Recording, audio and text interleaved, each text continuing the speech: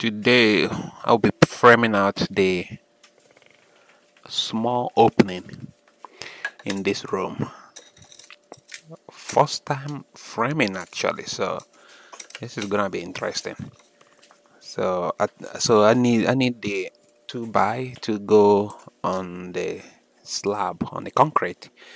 So what I'm going to do is pre-drill the hole in the concrete then use a bigger nail and uh, put um, some kind of tight fit material in the hole in the hole and get it nice and tight on the concrete. So yeah let's um, let's do that